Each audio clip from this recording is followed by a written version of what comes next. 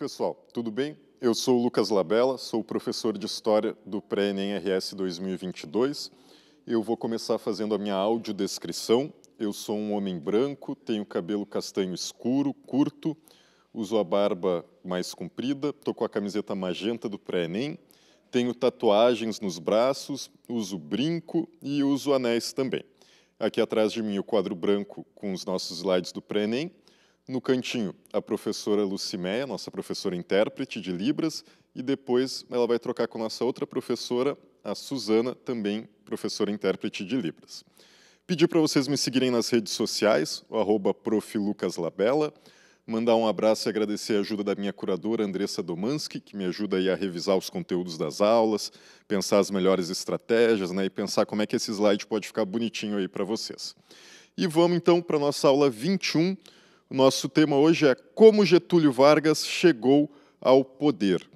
Então, Getúlio Vargas foi um presidente brasileiro né, muito expressivo, muito conhecido. Como é que foi essa trajetória política dele aí, né? Como é que ele chegou e também como ele se manteve no poder, né? Uma outra questão que é importante. Então, como ele chega ao poder? A gente precisa ressaltar que Getúlio tem dois mandatos, né? Um começa em 1930 e outro em 1951. Em 51, ele é eleito, né, ele tem o voto popular, né, são eleições democráticas. Em 51 já tinha o voto feminino, já tinha uma ampla parte da população brasileira que votava. 1930 é a última eleição da República Velha.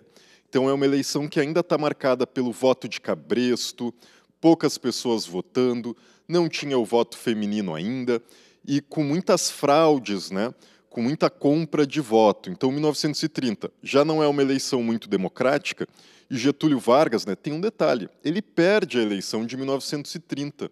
Quem ganha é o concorrente dele, Júlio Prestes. Lembrar que na República Velha, então, tinha aquela dinâmica que o Partido Republicano Paulista apoiava o Partido Republicano Mineiro, nas eleições presidenciais, né, e vice-versa. Eles ficavam fazendo uma alternância no poder. Quem estava no poder na época era Washington Luiz, que era um cara do Partido Republicano Paulista. E, em teoria, né, para manter essa política, essa aliança, ele deveria sugerir, então, ele deveria apoiar um candidato mineiro. Mas ele lança um candidato paulista, que é o Júlio Prestes, e daí Minas rompe com São Paulo e resolve apoiar Getúlio Vargas, né? Numa nova aliança, na Aliança Liberal, que ele tem então o apoio do Rio Grande do Sul, né? Getúlio Vargas está representando o Rio Grande do Sul, vai ter o apoio de Minas e da Paraíba, contra o candidato paulista, que era visto como candidato nacional. Getúlio Vargas ganha a eleição só nesses três estados, os outros todos votam no Júlio Prestes, só que tem um clima aí né, de revolta com essa eleição. E as eleições, então, vamos lembrar, né, nesse período, elas tinham muita fraude.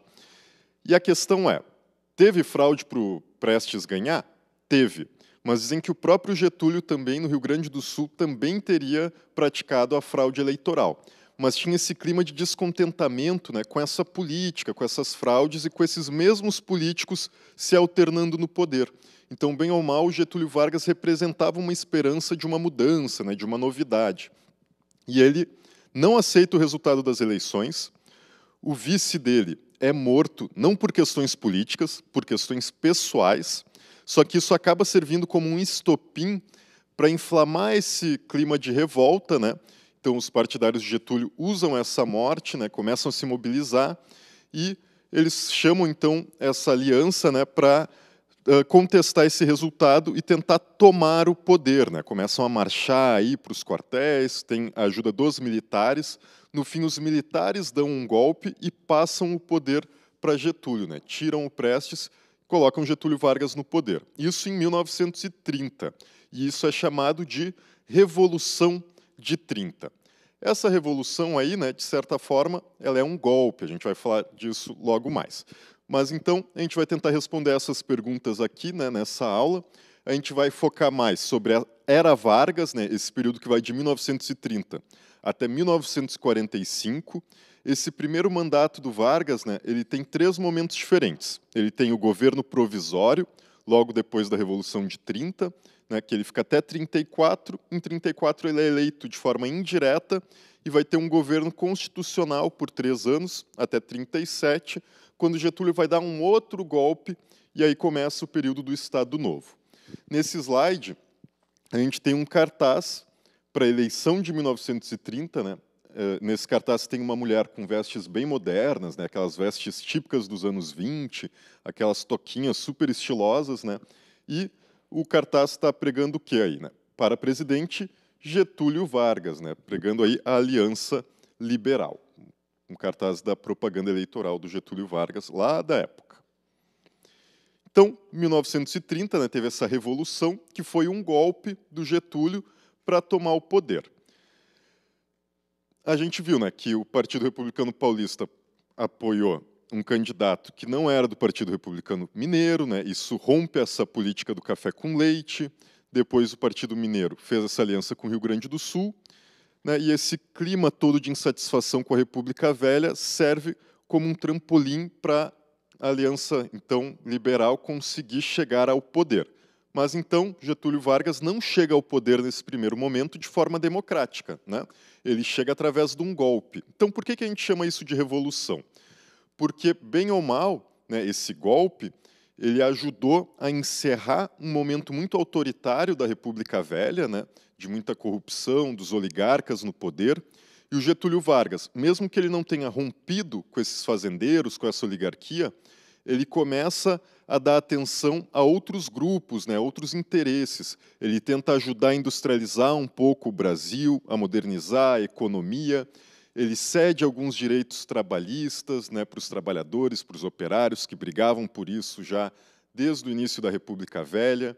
Então, mesmo sendo um golpe, Getúlio acaba atendendo alguns interesses populares e modernizando um pouco a política e a economia brasileira mas ao mesmo tempo ele vai fazer isso com muita violência e com muito autoritarismo também. Então Getúlio Vargas é visto muitas vezes na nossa história como uma figura dúbia, né? como um cara que ao mesmo tempo que deu direitos, perseguiu muita gente, também tirou muitos direitos e também foi muito autoritário. É né? muito complexo falar dessa figura com tantas ambiguidades. E aqui no slide, então, a gente tem uma imagem de quando Getúlio chega ao poder, né? e a gente vê ele com vestes aí militares, né? Então, ressaltando esse caráter de que Getúlio Vargas não chega ao poder democraticamente em 1930. Ele vai chegar de forma democrática ao poder lá no segundo mandato dele, em 1951. E uma questão importante do governo provisório de Getúlio Vargas é a conquista do direito do voto feminino, do voto das mulheres. E a gente, nas últimas aulas, tem batido muito nessa tecla, né? retomar aqui algumas iniciativas, como, por exemplo, da criação do Partido Republicano Feminino, da Leolinda Daltro, em 1910, também a Liga pela Emancipação Intelectual das Mulheres. Né? O que isso nos mostra? Que as mulheres elas estavam se organizando e reivindicando esse direito delas de poder votar. Também teve, nessa época, a Federação pelo brasileira pelo progresso feminino. Né? Várias organizações aí participando dessa luta. Daí, um pouquinho antes desse direito ser concedido, em 1932, no Rio Grande do Norte, a Celina Guimarães já consegue se alistar né, para votar nas eleições. Ela é a primeira mulher de toda a América Latina a conquistar esse direito. E em 1928, a Alzira Soriano, também no Rio Grande do Norte, consegue se eleger prefeita da cidade de Lages. Então, também a primeira prefeita do Brasil, a primeira prefeita eleita da América Latina.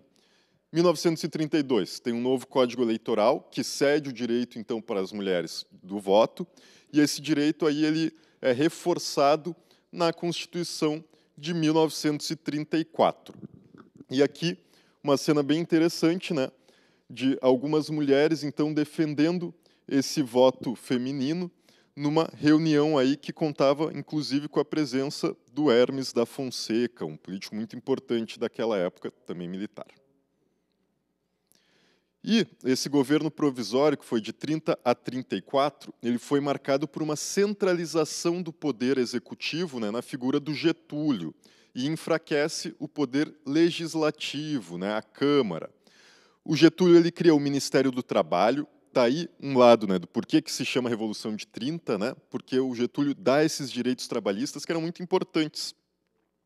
Ali na República Velha, né, os trabalhadores estavam submetidos a condições de trabalho péssimas. Eles não tinham um salário mínimo instituído, não tinham horas, né, uma jornada de trabalho estabelecida. Então, com a criação do Ministério do Trabalho e depois com a Constituição, com a nova Constituição de 34, o Getúlio vai assegurar alguns direitos mínimos né, que foram muito importantes para os trabalhadores até pouquinho tempo atrás, né, até a reforma trabalhista que a gente teve aí há pouco.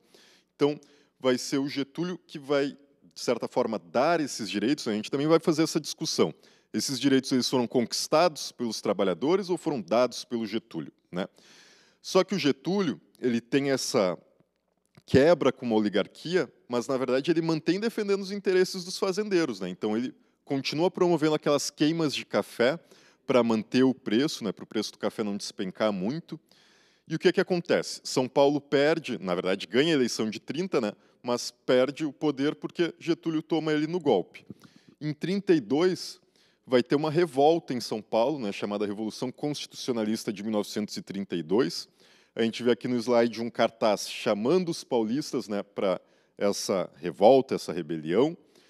O movimento que organiza isso é o MMDC, que são as iniciais de quatro jovens que foram mortos pelas tropas de Getúlio durante um protesto. Essa guerra civil, esse conflito, ele vai durar três meses.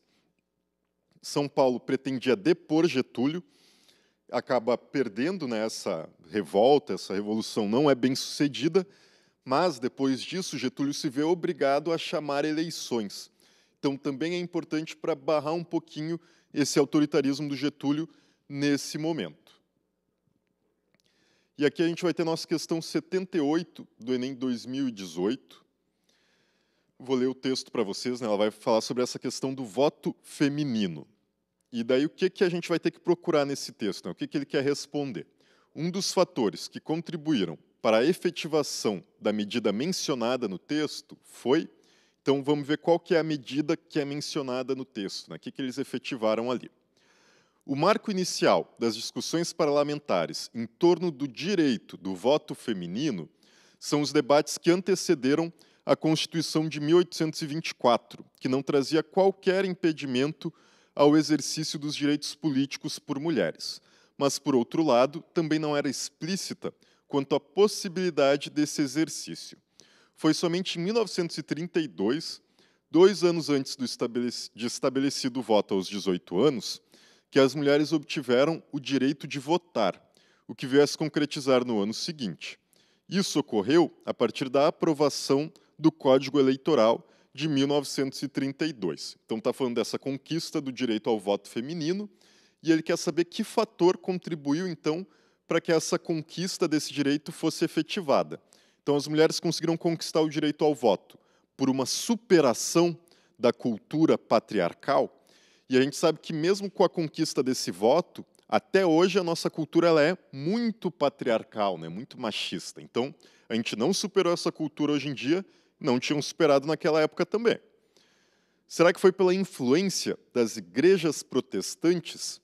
E as igrejas protestantes elas não têm tanto poder político assim aqui no Brasil, né? A gente sabe que tem um peso maior do catolicismo e ela não estava junto aí nessa questão, né, tão fortemente. Não é essa questão, tem nada a ver. Opção C, pressão do governo revolucionário, né? Será que foi a pressão então de São Paulo que fez isso? Não, não era uma das pautas daquela Revolução Constitucionalista de 32. Na opção D, fragilidade das oligarquias regionais. Gente, essas oligarquias, né, esses fazendeiros, eles mandavam no Brasil. Então, eles não tinham uma fragilidade, pelo contrário, eles tinham muita força, né? E foi a despeito da vontade deles que esse direito foi conquistado. Então, também não é essa opção. A opção E, a última, né? Uma campanha de extensão da cidadania. Então, aquelas campanhas pelo voto feminino podem ser lidas como uma campanha de extensão da cidadania, né, de estender este direito para as mulheres. Então, o voto feminino ele foi conquistado graças a essa campanha de extensão da cidadania, né, essas campanhas das mulheres para conquistarem o direito ao voto. Depois, gente, de 34, vai ter um governo constitucional. Getúlio, então, vai chamar uma Assembleia Nacional Constituinte, e essa Assembleia vai criar uma nova Constituição, né, a de 34, e também vai votar para presidente. Né? Por isso que é uma eleição indireta. Não é o povo que votou para presidente nessa eleição, foram os parlamentares que elegeram, então, quem ia ser o presidente. Ganha Getúlio. Então aí, né, essa segunda chegada dele no poder, ainda nesse grande período da era Vargas, se dá para uma eleição indireta. É importante a gente ressaltar os direitos trabalhistas que foram conquistados na Constituição de 34, né? como a equidade salarial, por lei, homens e mulheres deveriam receber o mesmo salário, um salário mínimo né, definido por cada região, uma jornada de trabalho de oito horas, descanso semanal, férias anuais remuneradas, proibição do trabalho infantil, né? esses direitos, gente, foram fundamentais para garantir um mínimo de dignidade para os trabalhadores no século XX. E é importante a gente ressaltar que a última reforma trabalhista né, que a gente teve ali em 2017, ela atacou exatamente esses direitos, né, que duraram quase 100 anos, e agora a gente vê os trabalhadores novamente perdendo muitos direitos fundamentais que eles tinham até pouco tempo atrás. Né? Uh, então, é a gente perceber também a importância dessa Constituição de garantir o mínimo. Né? A proibição do trabalho infantil, por exemplo, é o mínimo, né? e isso não era garantido anteriormente. Ressaltar que esse período também constitucional, de 34 a 37, é um momento de radicalização da política. E isso reflete um cenário não só brasileiro, como nacional. Né? No mundo, estava tendo, então, a ascensão do nazismo, do fascismo, essa tensão entre trabalhadores né, e esses governos que começam a se tornar totalitários, começam um autoritarismo extremo, né, de querer controlar toda a dimensão vi da vida das pessoas, toda a dimensão da política, da cultura. Né, a gente vai falar um pouquinho mais na próxima aula desse conceito de totalitarismo, mas isso influencia o cenário brasileiro também. E aqui a gente vai ter, por exemplo, né, inspirado no nazifascismo, a gente vai ter os integralistas que usavam camisas verdes, né, tinham um nacionalismo muito exagerado, tinham essa palavra né, que identificava eles que era o Anauê, o sigma, que era o símbolo deles, né, a gente tem aqui nessa ilustração, então, um integralista pregando um sigma no Brasil. Né? Então, lembrar que os integralistas, então, são representantes do fascismo no Brasil.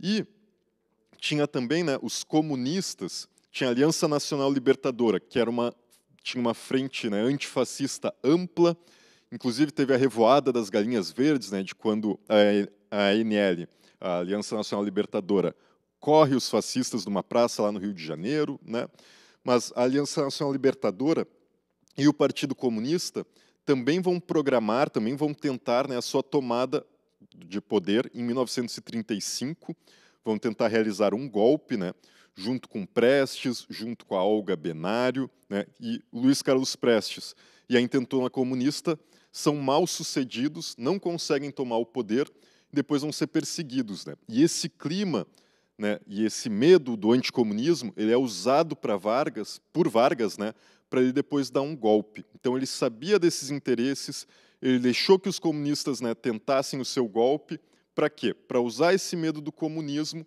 ao seu favor.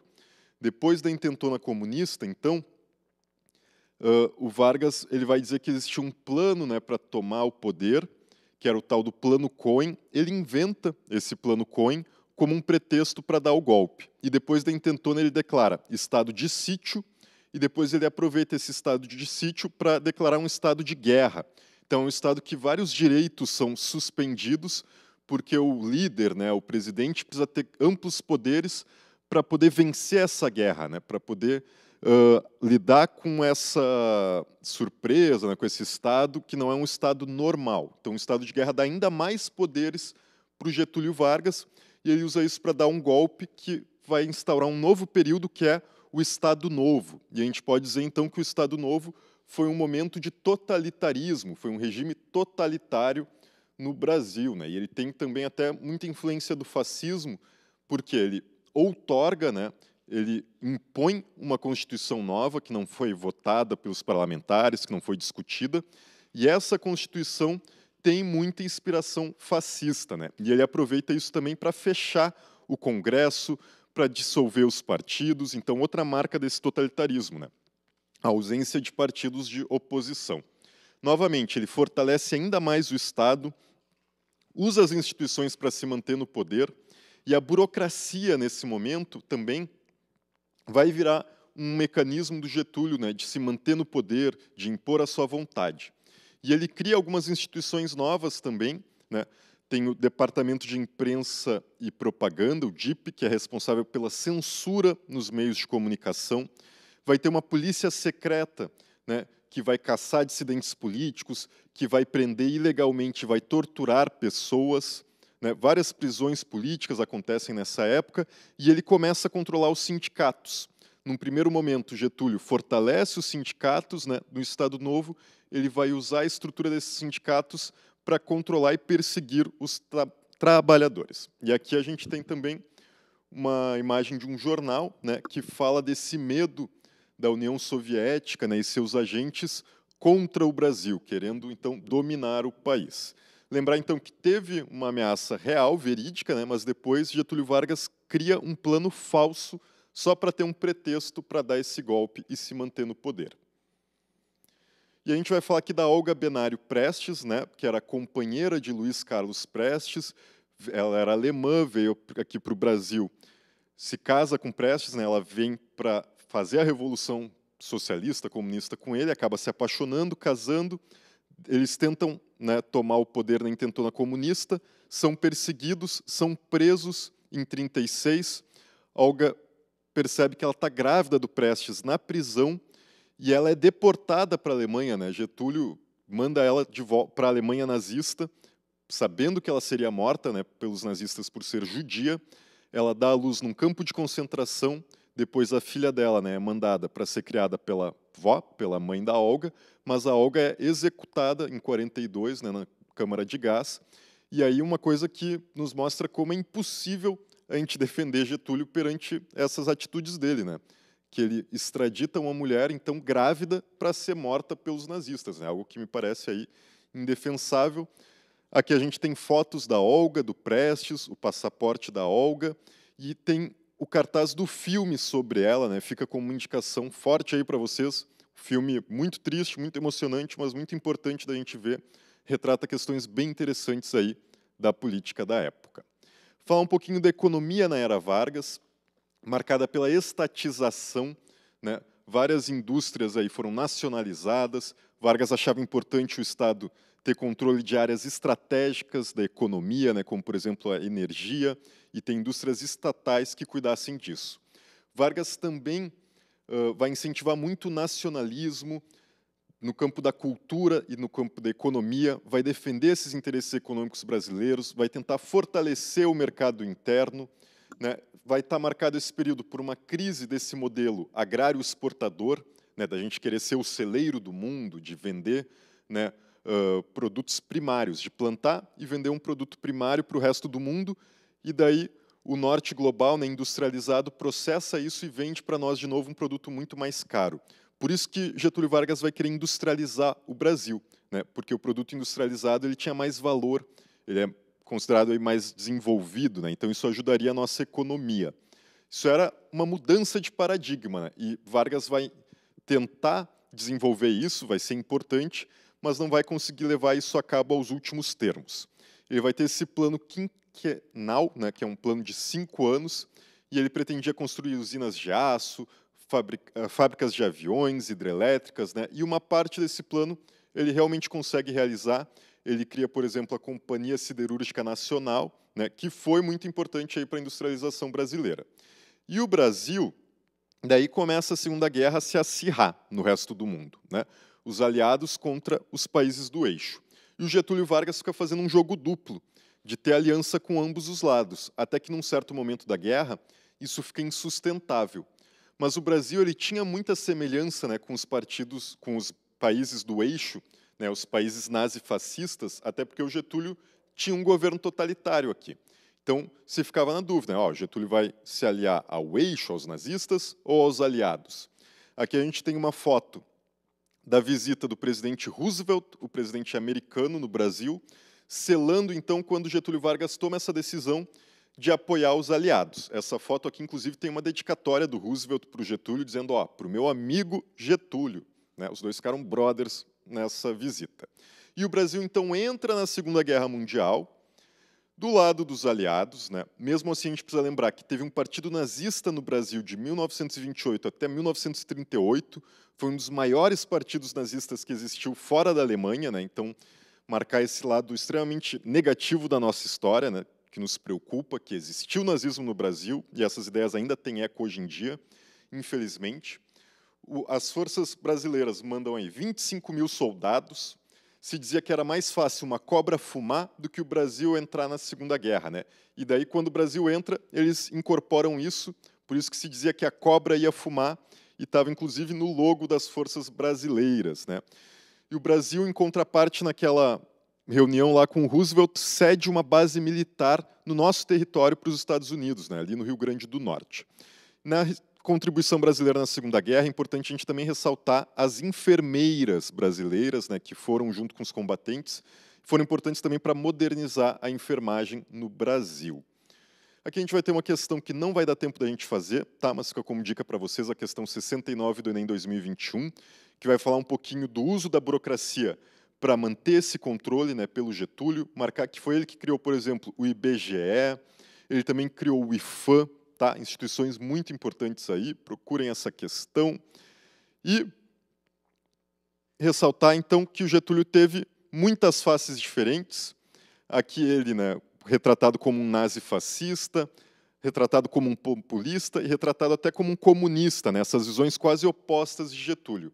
E a gente ressaltar isso, né, que Getúlio, então, teve atuações muito distintas, foi importante ao ceder alguns direitos para as mulheres e os trabalhadores, mas também teve muita perseguição política e muito autoritarismo. E a gente não vai apagar nenhum desses lados, a gente vai tentar tratar dele na sua complexidade. Agradecer vocês aí a audiência e partiu passar.